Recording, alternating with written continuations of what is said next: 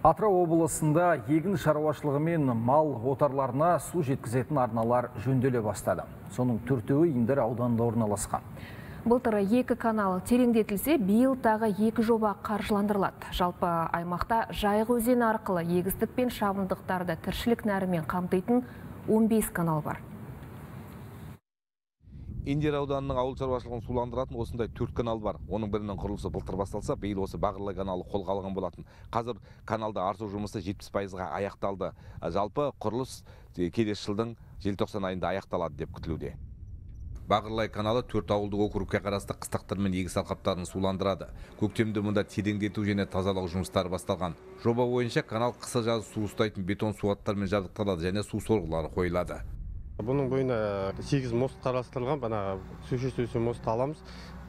Трубчатный мост дейді. Бана трубалар салынған. Оларды алып бетонный трубалар салып не саламыз мост саламыз. Сосын сегіз котлован қарастырылған. Екі жүз де алпыс метр ұзындығы тереңдігі үш метрлік. Келесі жылы бетон құю мост жасау сосын насосныйлар бар бетонный жұмыстар жасалатын бүкіл насостар бәрі ауыстырылады.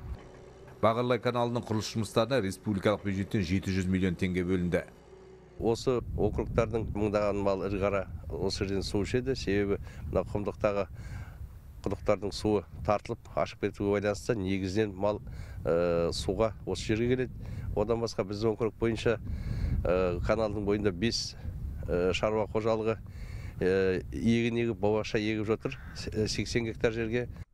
Аймақта шабындықтар мен жайылымдарға су жеткізетін 15 канал бар. Биыл индер махамбет аудандарында бұған дейін жөнделген каналдардың тағы жетеуі кезең кезеңімен жаңғыртылады. Арыстанбек кенжайбек байзақов жандос рахметуллин 24 кезет атырау облысы.